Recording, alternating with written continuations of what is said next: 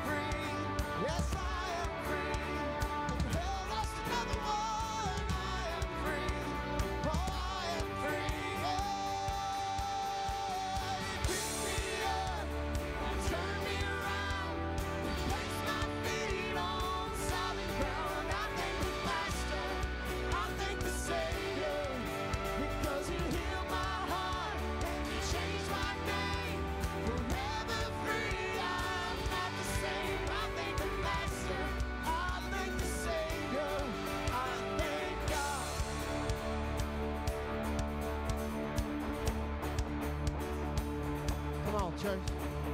I needed rescue, my sin was hid.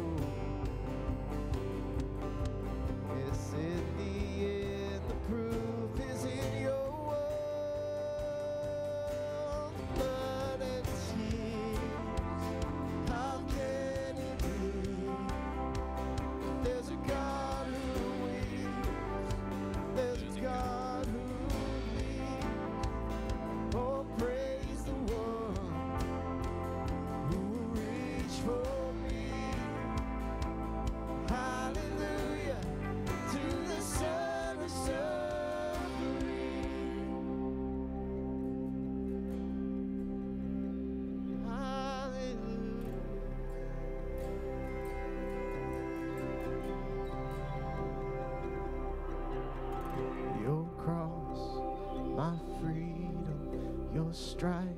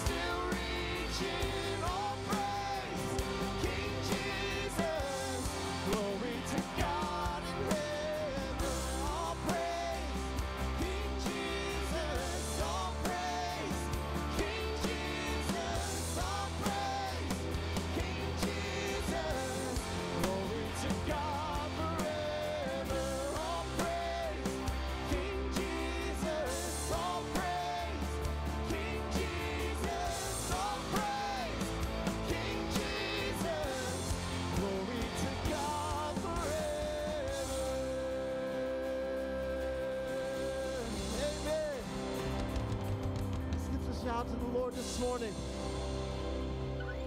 God, we thank you for this time that we can come together and just worship and honor and glorify you, Lord. God, we thank you for the opportunity. And God, we thank you for the breath in our lungs, God, that we can just return that back to you. God, we pray over our service today. We pray over our time together, God. We pray that this would be an opportunity for lives to change, that this would be an opportunity for people to hear your word and to and to have your word spoken over them, God, for the first time. God, that that everything that we say and everything that we do would just honor and glorify you this morning. Father, be with Dustin as he brings your word, and be with us as we continue to worship. In Jesus' name we pray. Amen. You guys can be seated.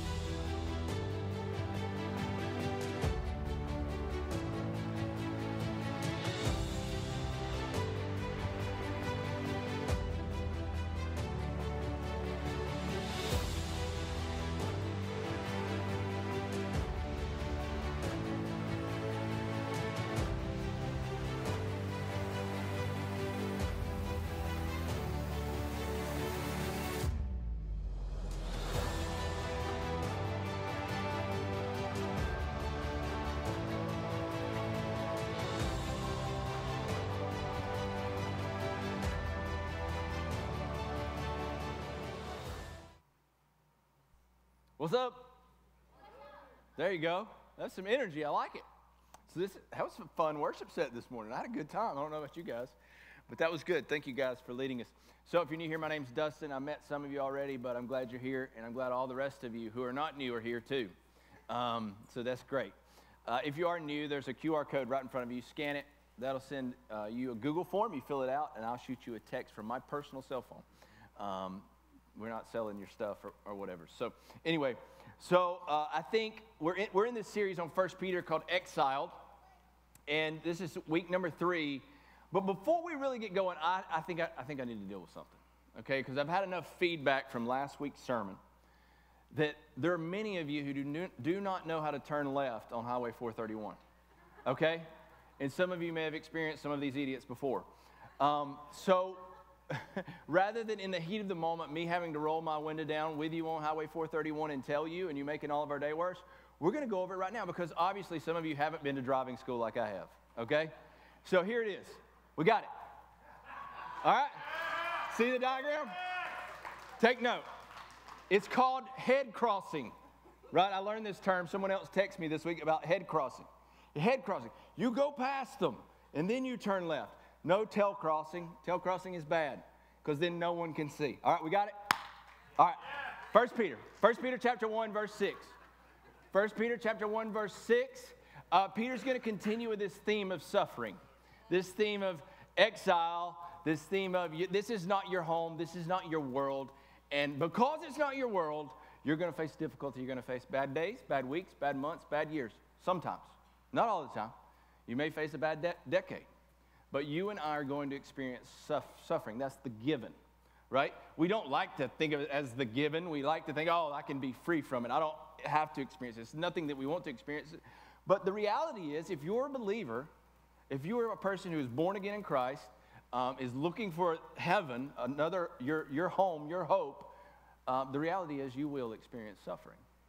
And we might as well just go ahead and go, yeah, I got it. All right? And so last week, just review, Peter says, you should praise God in your suffering. Bless God in your suffering. Rejoice in your suffering. And he, and he gives us kind of this, let me show you the forest kind of idea, right? Or we could say 30,000 feet view, right? Looking down, here's the big picture. If you remember, he said, Blessed be our Father of our Lord and Savior Jesus Christ, who by his great mercy has caused us to be born again to a living hope. So he's saying, look back and remember that moment in time where Christ saved you, where you became born again, where you were a new creation, and then look forward knowing, remember that your team wins, right? You know the end of the score. And so you can face the difficulties of life, the difficulties of a bad day, a bad week, a bad month, and maybe even a bad year, maybe even a bad decade. You can face that knowing that in the end, Jesus wins and ultimately you win, right? And all of the bad things and the, and the suffering in your life will eventually come untrue, is the way that we have, or the Christian hope that we have. And so we have that, I, that 30,000 few, 30,000 foot view that we received last week. This is the big picture. And now the, the forest, so to say. And now Peter's going to say, let's look at a few trees. Because the reality is, you and I can intellectually know these things, and we, and we can look back and remember what God has done, and we can look forward to what God is going to do. But there is this thing called the present where we suffer. And so Peter is going to give us some encouragement here in our, our moment of suffering. And it is the Christian approach to suffering. Oftentimes, when we suffer, we ask the question, why, don't we? Why am I suffering? Or why is this happening? Well, there are some good, there are some answers about suffering. We just don't like the answers. The Bible would teach that suffering happens because bad people make bad decisions, right? Murder.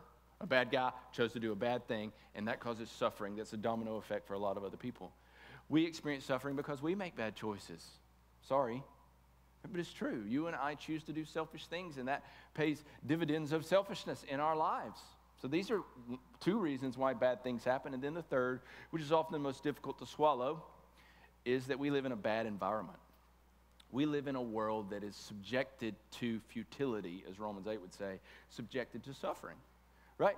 We live in an environment that's broken, that's not quite in balance, or as the Hebrew people would say, shalom, right? That's what we're pursuing. Right? But we don't live in a world that that is actually possible on, at this time. Right? Think about it. Everything suffers, even the grass suffers. Right? The grass was rejoicing when it started raining yesterday, as was I. But it, it suffers, it starts turning brown. Right?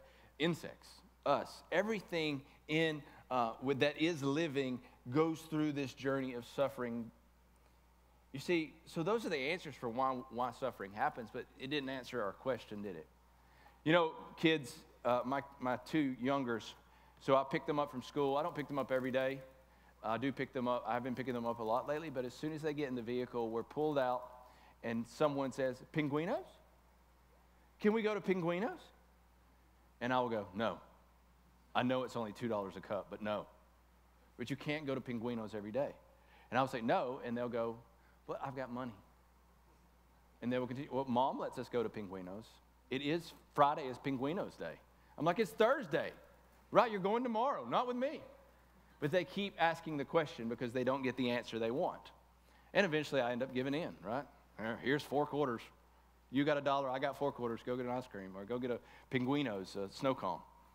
But oftentimes we do that with God in regards to suffering, and that's not a good place to be. It leads us into a dark place.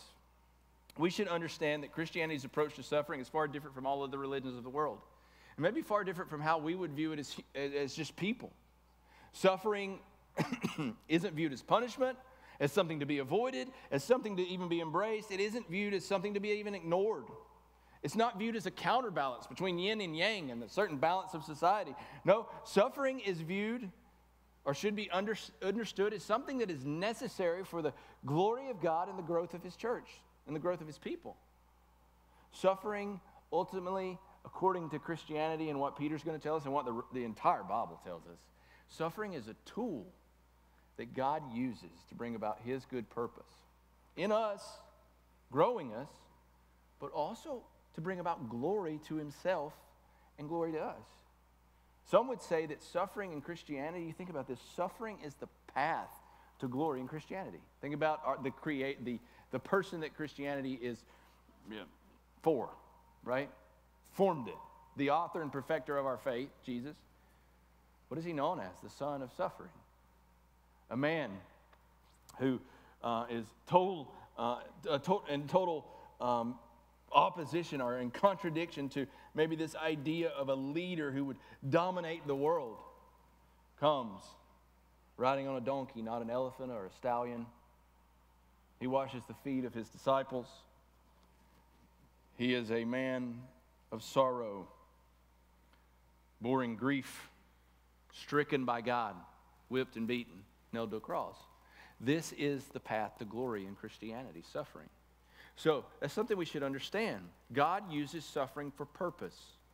So the question become, should be at, the question we should be asking. Uh, one, we should just acknowledge I'm going to experience suffering, and that's not a bad thing. I think you just said that out loud. I'm going to experience it and it's not going to kill me. It's not going to destroy me. It's not going to be the end of me. God will use it for good. God uses suffering for purpose. So now let's read and see how he uses that suffering for purpose in our life. Right, verse 6. 1 Peter chapter 1, verse 6. In this you rejoice. So he continues with it. Come on, Peter.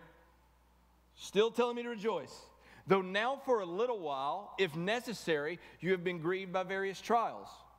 Catch those three things. Trials are temporary. No matter if they last the rest of your life, they are still, from God's perspective, temporary in your world. There will be a day where there are no more trials, where there is no more su- suffering. And uh, on occasion, it seems that they are necessary. They're necessary, they're temporary, and they're miscellaneous or various.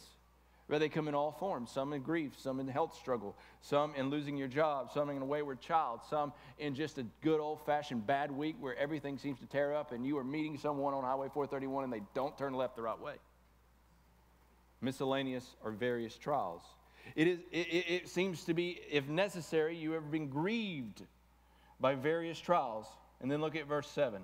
So that the tested genuineness of your faith, more precious than gold that perishes though it is tested by fire, may be found to result in praise and glory and honor at the revelation of Jesus Christ.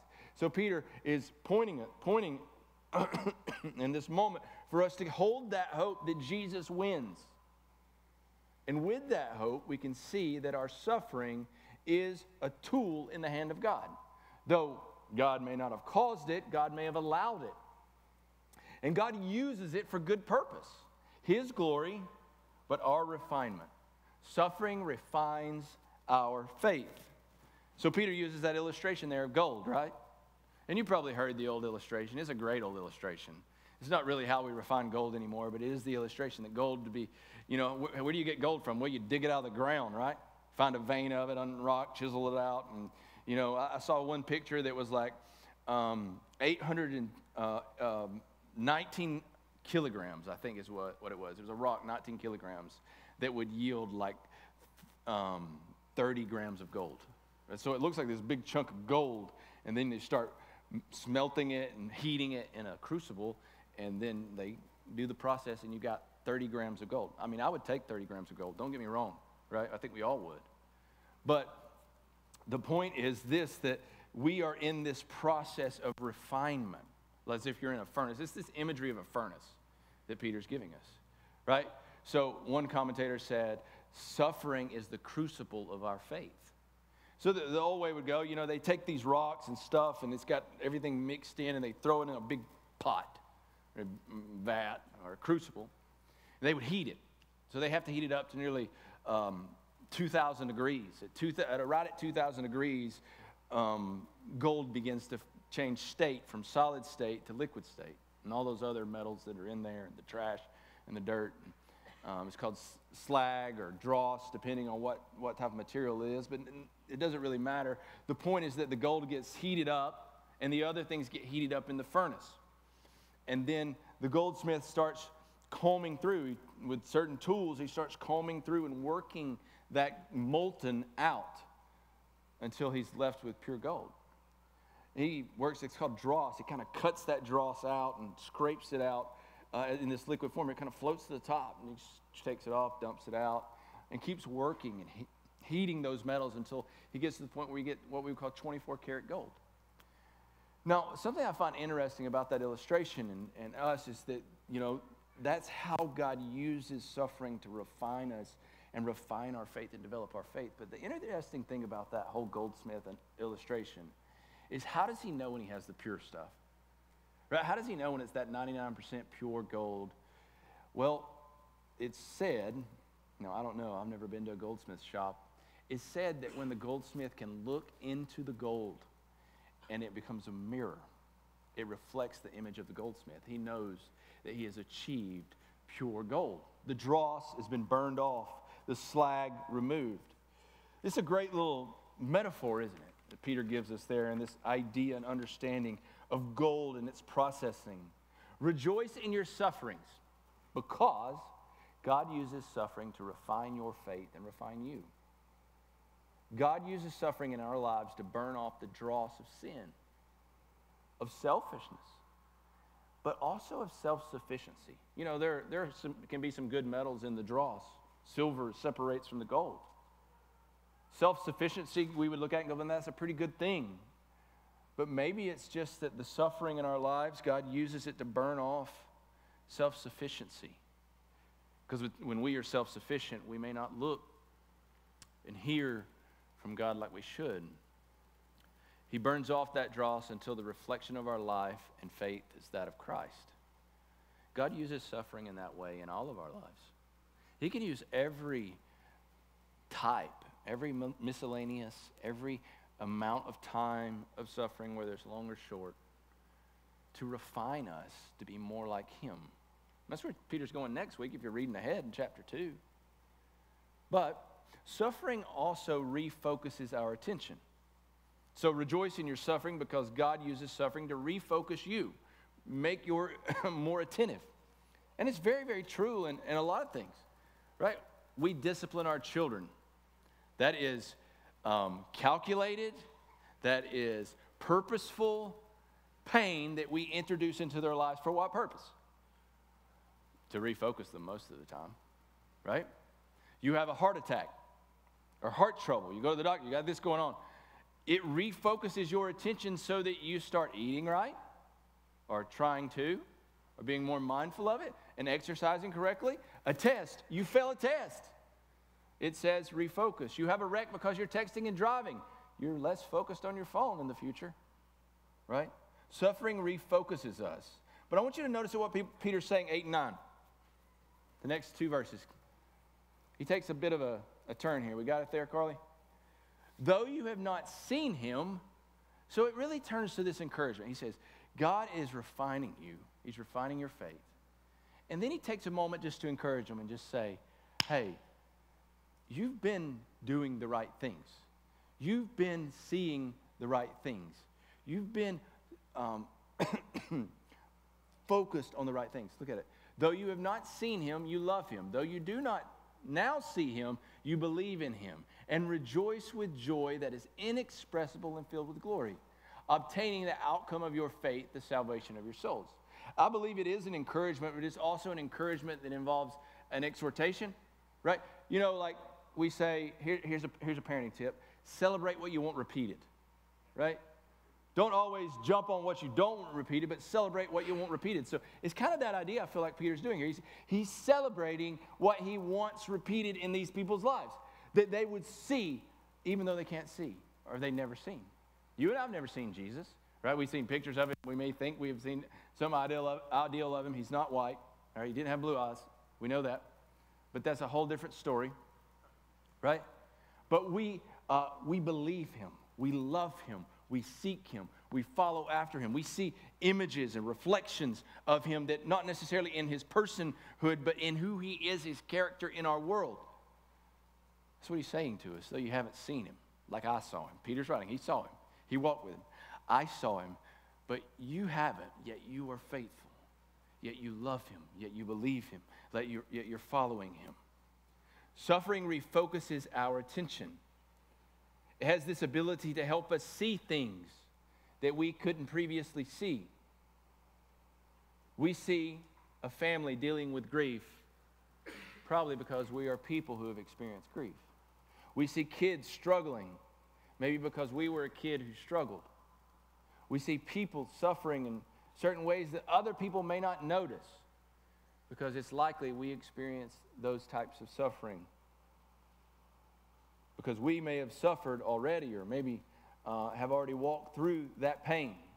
You see, the reality is God uses pain to help us see the unseen, the unseen in us, the unseen around us, and the unseen above us. You should write that one down. I'm proud of that one. God uses pain to help us see the unseen in us, the unseen around us, and the unseen above us. He focuses us in the right direction if we will surrender in that suffering to Him. C.S. Lewis wrote The Problem of Pain. I love a good C.S. Lewis quote. This one's a good one. Pain insists on being attended to, doesn't it? God whispers to us in our pleasures. Yeah, He speaks in your pleasures. When your kids are doing great, He does. God speaks to us in our conscience, our consciences, but He shouts in our pain.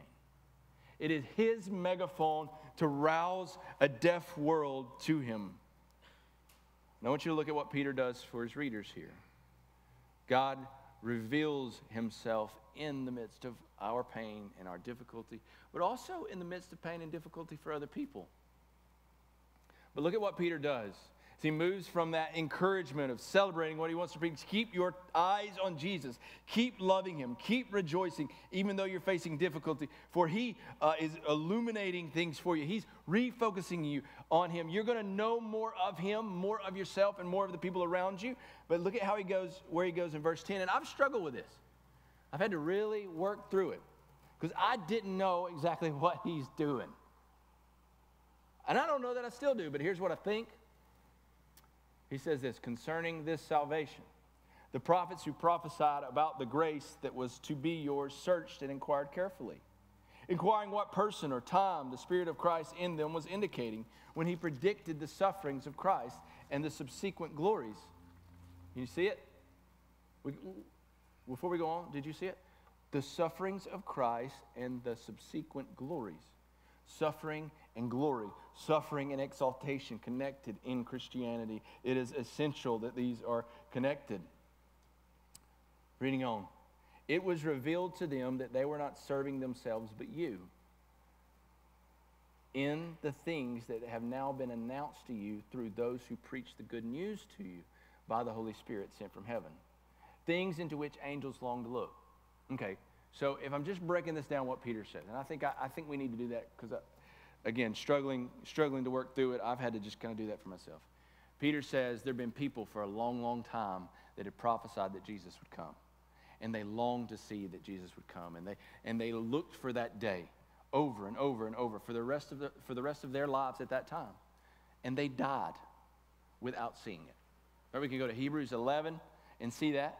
We can even see it in the Christmas story, right? With this guy, Simeon uh, these, these prophets, these people who are looking for the Messiah to come, and then finally baby Jesus comes. They're like the two people who get to see it this guy and girl, or this man and woman, they get to see it there at the temple.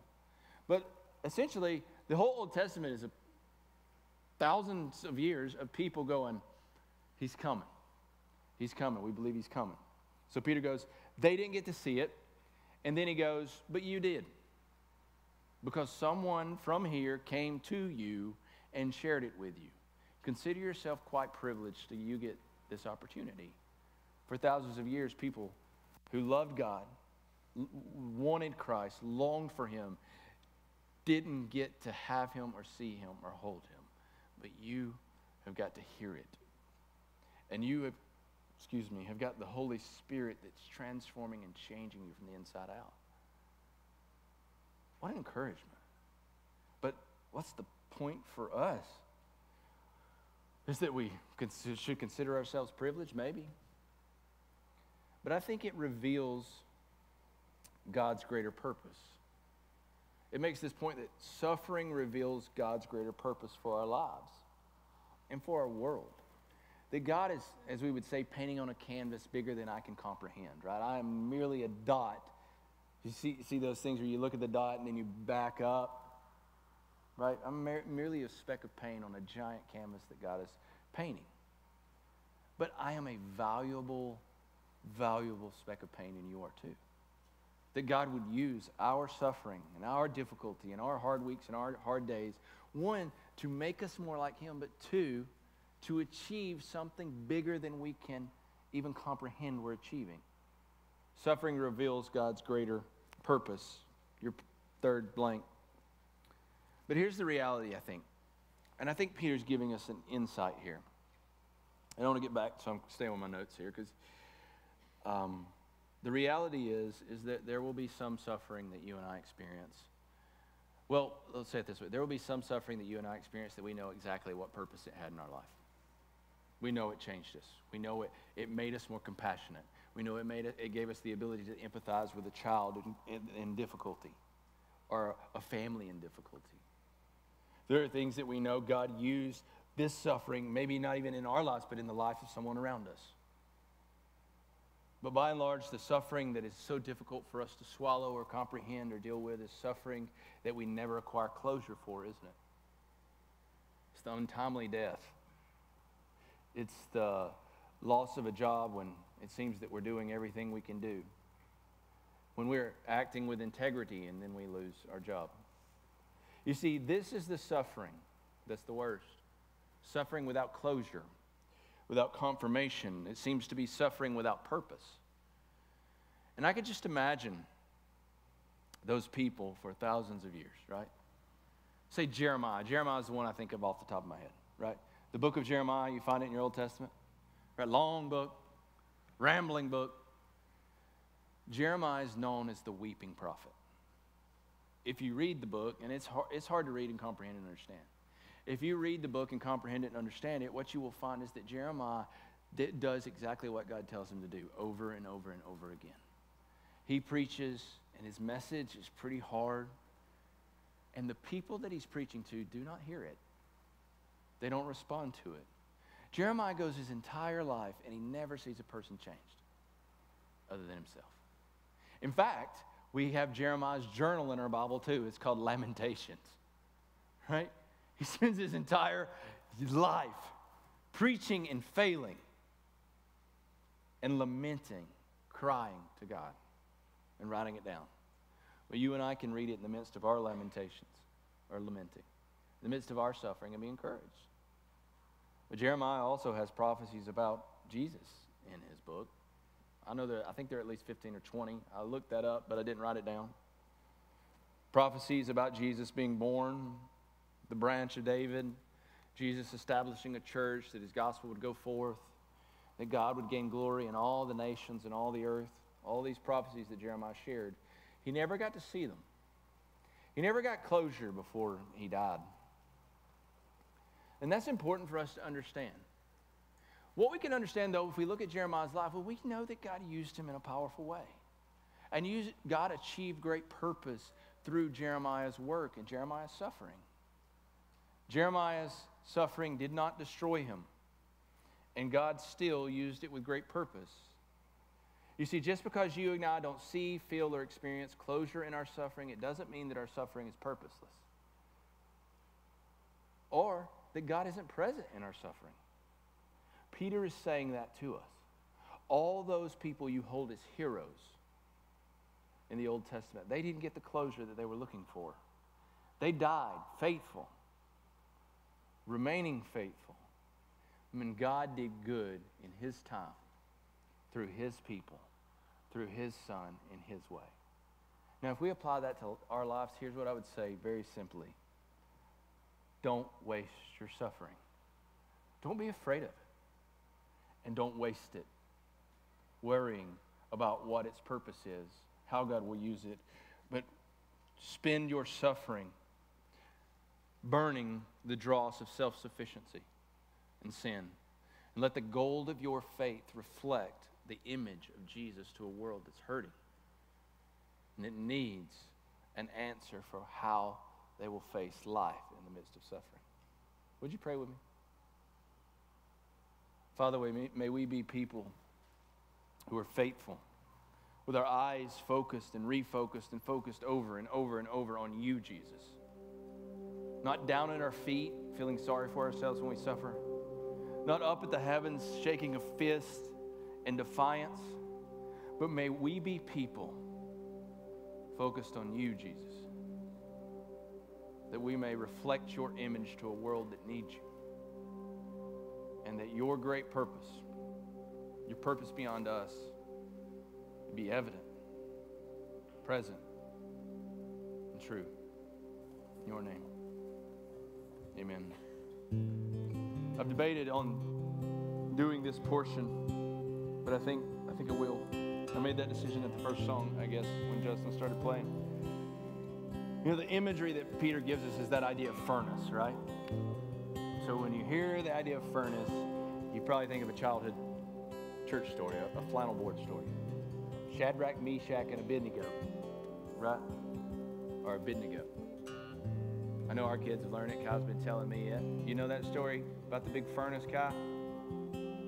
Well, there's these three guys that they were exiles. Irony.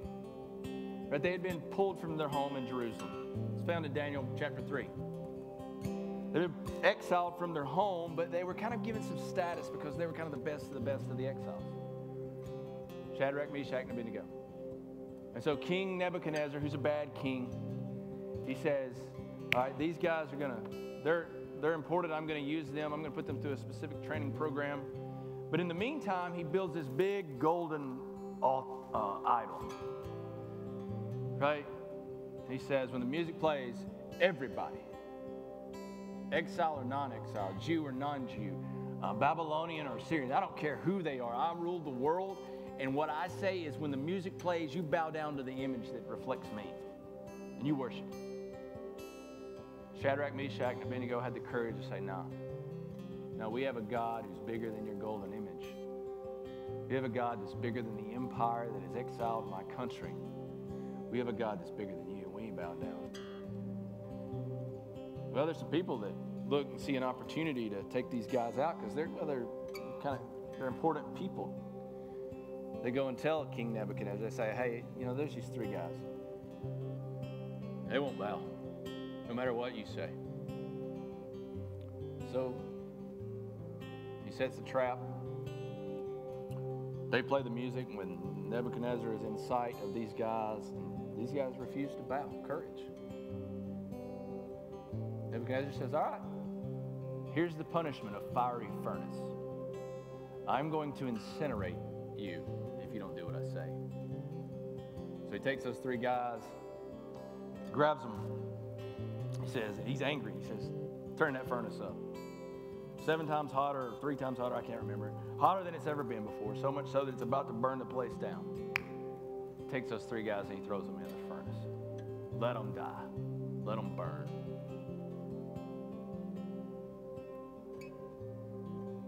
Then Jesus shows up says that Nebuchadnezzar looks in. He doesn't hear the screams and the cries, and he looks in to the furnace. I can just imagine it being like up over, right? You're looking at this vat of just fire. It's got to be circular, right? I just see it that way. Looking down in that vat of fire. And he doesn't see three guys, he sees four. He says, What in the world's going on? They're not burned up? There are four guys, and I just threw three in there? He says, Call them out. They take them out, and they don't even smell like smoke, according to the story, right? There's not a hair that's singed on their head, even though the people who threw them, throw them in there had been burned. Nebuchadnezzar goes, Your God's the real God. Your God's the one God. Now, I truly believe that that was pre incarnate Jesus walking with Nebuchadnezzar. I mean, with Shadrach, Meshach, and Abednego in that furnace. But you can see the story and the imagery that Peter's drawing on. The reality is, is there's a furnace much hotter than the suffering that you're facing. A furnace that's eternal. Hell. But thanks be to God that you can be born again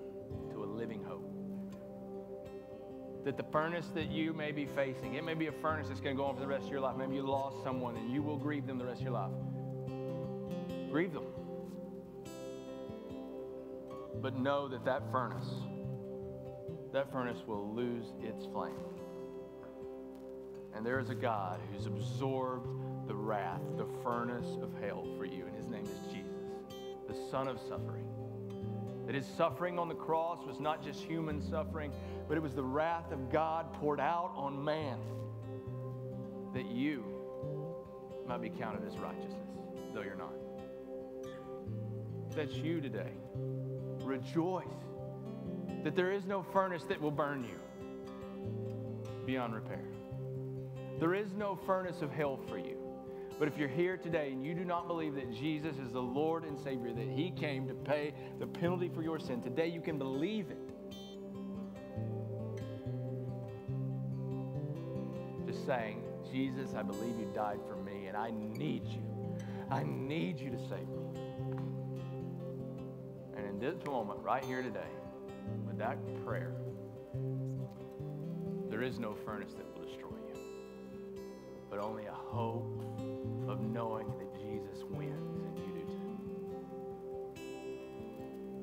If that's you today and you need to be saved, would you please talk to me? Most importantly, deal with it right where you are. I mean, you can come up here, it's just steps. If you come up here, at least somebody pray with you. Maybe some of you going through a hard time. You, you got a furnace going on. Come up here and lay that furnace down. Maybe lay the struggle of why I'm not getting the answer I want down. Have a brother and a sister come and pray with you. They might walk with you. You respond as the Lord leads you. Let's stand and sing.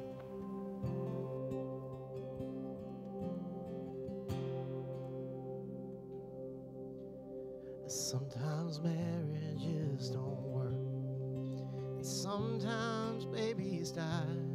Sometimes rehab turns to relapse, and you're left just asking why. And after all the prayers I prayed, I still wonder if he's real. And if he is, how is he choosing who he does and doesn't heal? I've tried to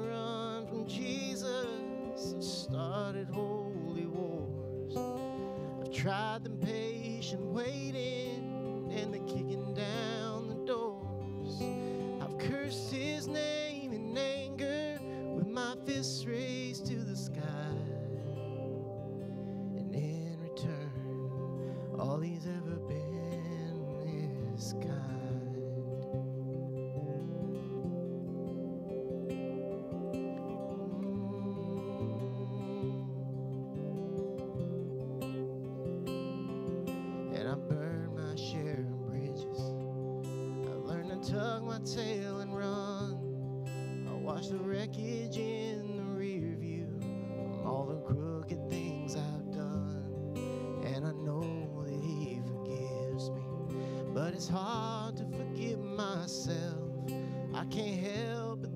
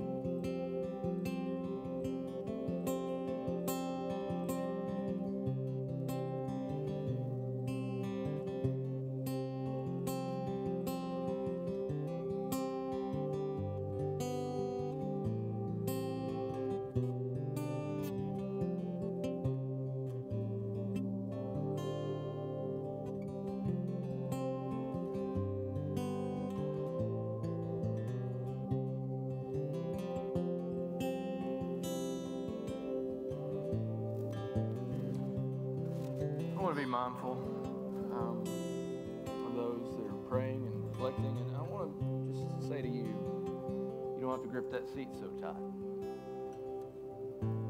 That's you. It's a safe place.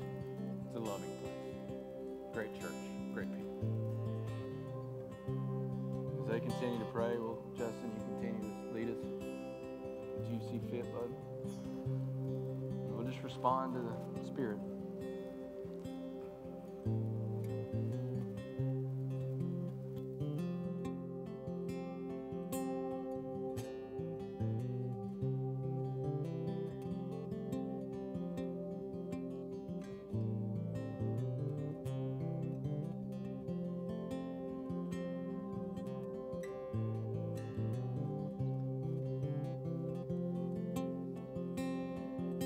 Sing that chorus one more time.